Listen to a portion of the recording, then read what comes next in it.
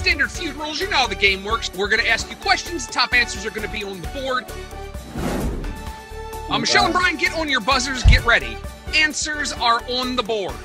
Name an excuse people give to get out of jury duty. Name a fruit or vegetable used as a beauty aid. Name something that starts with the word lady. Name something that starts with the word lady. Brian. Um, Lady in the Tramp. A Lady in the Tramp. Let's take a look. That is the number three answer. Michelle, there are two answers that are better. If you can give me one, you have a chance for control. Michelle, name something that starts with the word lady. Let's take a look. Three strikes. It moves over to Michelle and Don. Uh, you get to decide one answer. If it's on the board, you're going to get the points. If not, the points are going to go uh, to team, not the two of you.